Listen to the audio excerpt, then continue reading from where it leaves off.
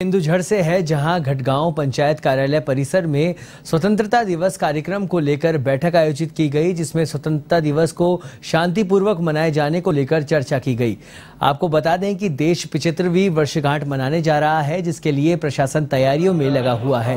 बैठक में तहसीलदार, बीडीओ सहित स्थानीय स्कूल के शिक्षक, शिक्षिकाएँ और गणमान्य लोग मौजूद रहे।